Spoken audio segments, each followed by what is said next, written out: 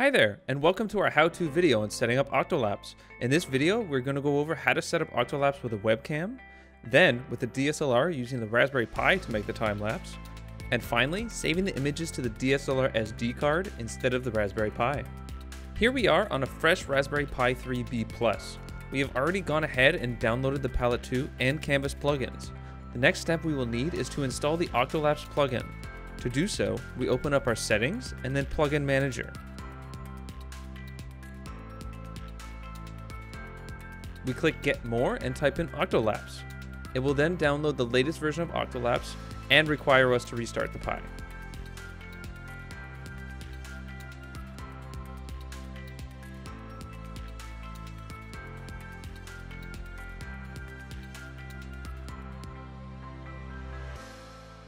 Once the Pi has restarted, we now see a new tab that has been created called Octolapse. Within this tab is all the basic settings you need to get started. The first thing we will set up is the printer we're going to use. For this video, we're going to use the Prusa i3 Mark III. Next, we are going to click the cogwheel here to set the proper settings for Octolapse to use when capturing images. We're going to change the current slicer to other slicer as we are going to use canvas. Now, we're going to input our Z-hop setting, which is 0.5 millimeters. Our retraction settings is already set to 0.8, so no need to change that for us. Next, we will set our retraction speed and finally set our movement speed to 150 millimeters per second.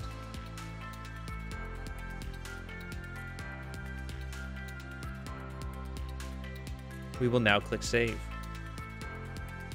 Now that our printer settings are finished, we can adjust where we want the printhead to be located when taking an image. I personally like the printhead to be in the back left corner. We will leave the snapshot setting alone. In the rendering section, we have a bunch of settings, but I personally enjoy having a small amount of time before and after the print in the video, so we will leave it with the plus one second pre and post roll setting. An important thing to make sure you change on the printer side is to add a G90 command to the very beginning of your start sequence. This setting is vital for Octolapse to function properly. Now, we're going to slice our model in Canvas. I have already pre-selected a low poly Squirtle model from Thingiverse for this. You can find the link to the model in the description. Now, we're going to add our colors and properly orient our model.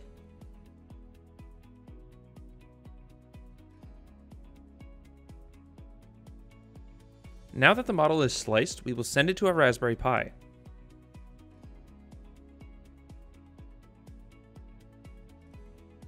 We see that the Pi has received the model and is ready to print.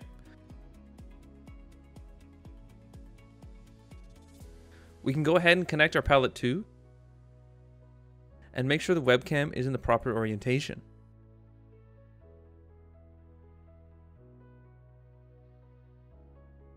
Then we will make sure that in the Octolapse tab, we have all of our desired settings.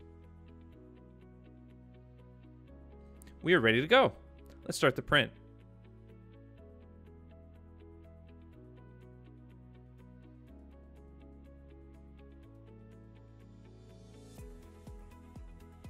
Once our filament is loaded and we are ready to extrude, we're going to use the Smart Load feature and we will see a few errors pop up in the corner.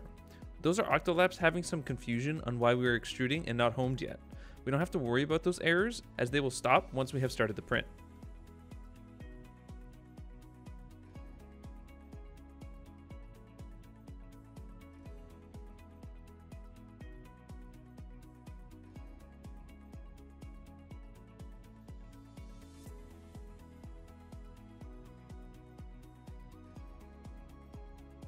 Now we are all loaded and we'll start our print. It will not be long before the few images are taken by the camera, and we will see the preview in the small window here.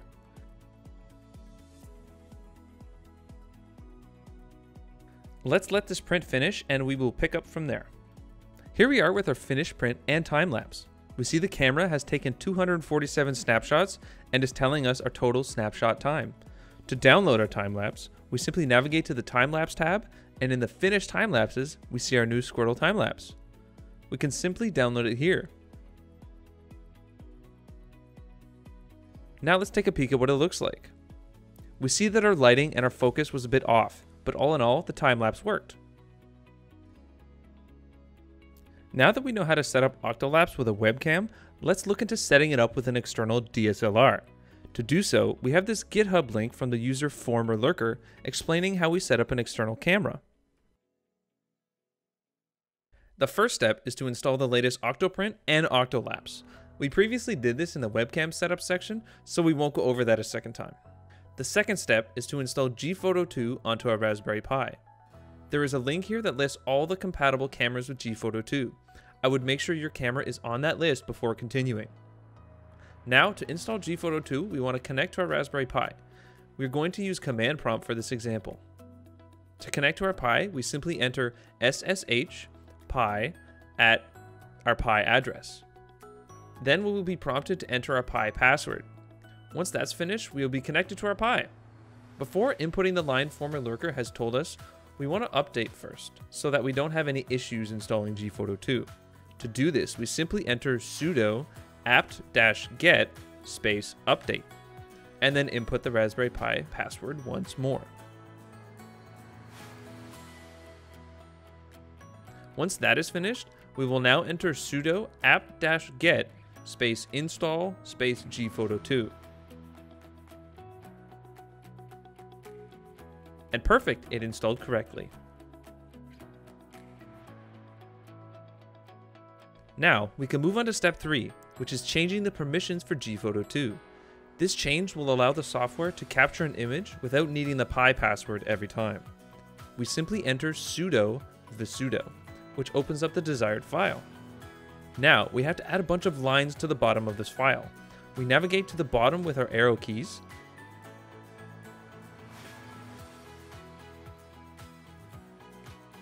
Then we will copy the new lines we need to add, and to paste them into command prompt, we simply right click once. Now, to save our changes, we type Control O, and then enter. To exit this file, we type Control X. Now, we want to make sure that Gphoto 2's location matches the changes we just made.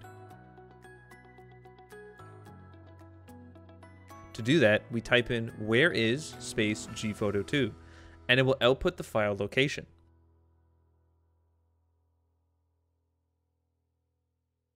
It looks like ours matches correctly, so we can move on. Now, we will reboot the Pi. To do so, type in sudo space reboot. After a minute, our Pi should be rebooted and we can reconnect. We can now continue on to step 4. At this point, you should make sure that your camera is connected to the Raspberry Pi via USB before doing this step. Once you've plugged in your camera into the Pi, we can run the code gphoto2 auto detect.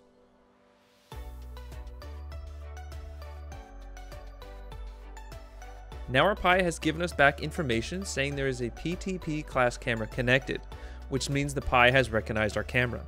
If there are no cameras detected, this will show blank and you should recheck your connections to your camera. Now that we know our camera is detected, we should test that the Pi can capture an image using the camera. To do this, we simply type in gphoto2 space dash dash capture dash image. This will capture an image and save it to the camera. To capture an image and save it to the Pi, we simply type in gphoto2 dash dash capture dash image dash and dash download.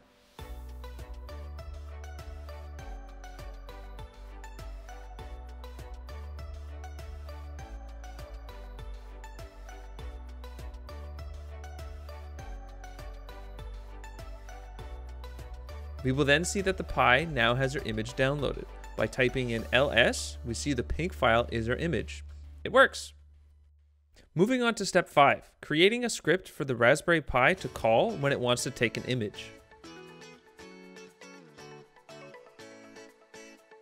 First, we are going to go into the scripts folder in the Pi by typing in cd slash home slash pi slash scripts. Now that we are in the scripts folder, we can create our script by typing in nano and then making the file whatever you want to call it. We're going to call it take-snapshot.sh make sure to add the .sh. Once you enter that line, we are taken to an empty file. This is where we will input our code to capture an image. We will copy the code former lurker has put in his post. Make sure to copy all of it or else it won't work. Doing the same as before, by right clicking, we can paste the code into the file.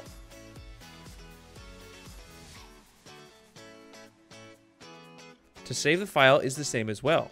Control O, then enter, and exit the file with Control X. Now, we need to add permission to our script. To do so, enter chmod space plus x and then the name of our file.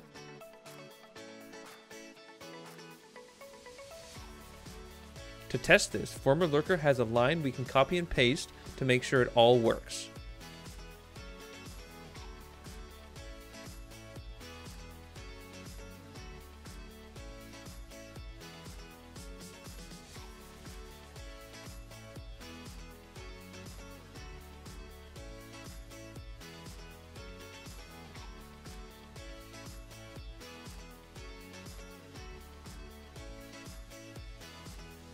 We should see the same output as they have in their post. If we type in ls, we can see the image there. To delete it, simply enter rm space test.jpg and enter y to delete it. As you can see, now it is gone. On to step 6. We now want to make a new camera in Octolapse for the DSLR. Before we move over to Octolapse, let's copy the line here that we will need in order for Octolapse to properly call the script. We can open our Octoprint and go to Settings and scroll down to Octolapse. We then navigate to the Camera tab and select Add Profile. We will change the camera type to an external camera-script first. Let's name the new camera DSLR. And as you can see, this section is highlighted red because we need to input our snapshot script location. This is where we will paste that line we copied previously.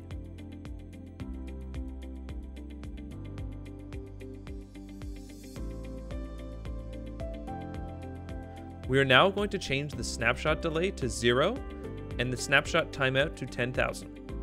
That should be everything. Let's click Save and now we should see two cameras in the Octolapse section, one being our webcam and the other our new DSLR. We are going to want to deselect our webcam as we are not going to be using it for this test. If we go back to the post, we are on to the final step of testing our new DSLR script by running a test print. Since we already sliced our Squirtle before, we will be using the exact same G-code again.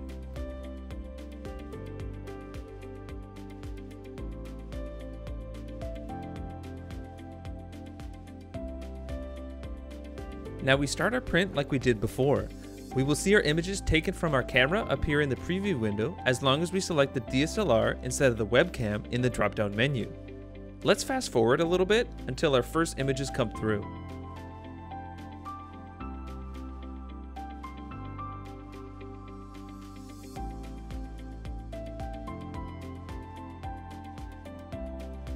As you can see, the camera has taken two snapshots so far.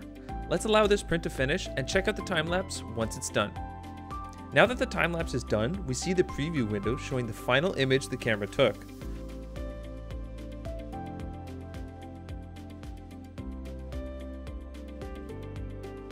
To download our new time lapse, we do the same as before. We navigate to the time lapse tab and download our new time lapse. Let's take a look at what we got. While it looks amazing, there is a big difference between a time-lapse that is created on the Raspberry Pi and one that is not. Here is a side-by-side -side of those two options. We can see the difference in the detail of the SD card time-lapse over the Pi time-lapse. Now let's show you how we managed to change our Octolapse setup to capture only to our SD card. The first step is to figure out what options you have with your camera for a capture target. That is where the camera will send the file to once captured. To do so, simply enter gphoto2 dash dash get dash config space capture target. This will display the choices you have of where to send the photos. Right now, you can see that the choice of internal RAM is selected, so the camera will take the photo and save it to the RAM and then send it to the Pi. We want to change it to the memory card choice.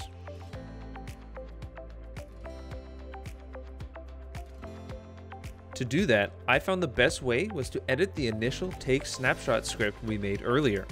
To do this, we need to go into our script folder by entering cd space scripts,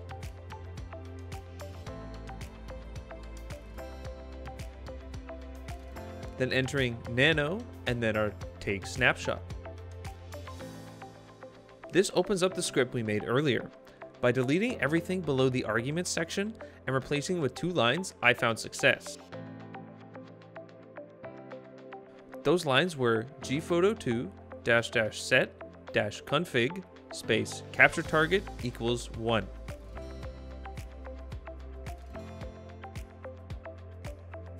Then gphoto2 dash dash capture dash image. This will capture an image from the camera and send it to the SD card.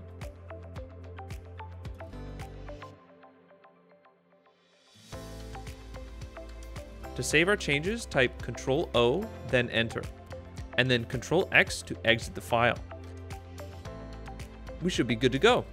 To make sure it works, I found that watching the camera while it's taking a photo and making sure the preview image comes up and the photo counter goes down, indicating that the image was saved to the SD card.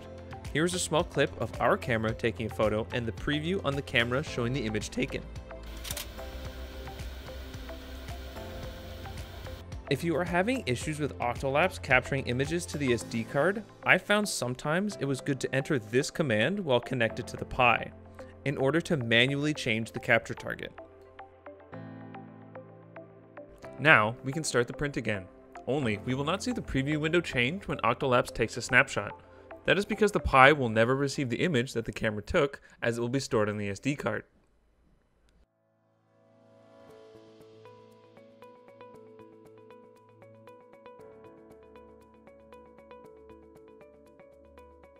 Can see Octolapse has indicated that it has taken two snapshots, and the preview window has not changed. It seems to be working. Let's let this print finish and check it out once it's done. Here we are after the time lapse is finished. We see that the time lapse captured 247 images, but the preview window on Octolapse never changed. That is because all the images were sent to the SD card, so the Pi does not render them. If we navigate to the time lapse tab, we also see there are no new time lapses. I will be rendering the time lapse myself using Adobe Premiere Pro. Here's what it looks like.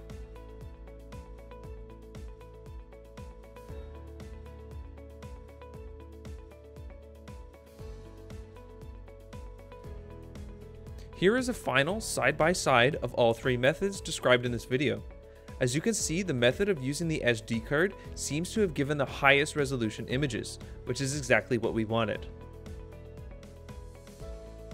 This video showed you what it's like to set up Octolapse with a webcam and two different ways of using an external DSLR to use with your Palette 2.